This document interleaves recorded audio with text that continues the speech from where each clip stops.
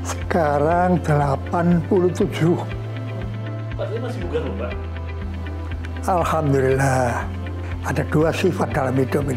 Ada siang, ada malam. Gembira, ada susah. Ada sakit, ada sehat.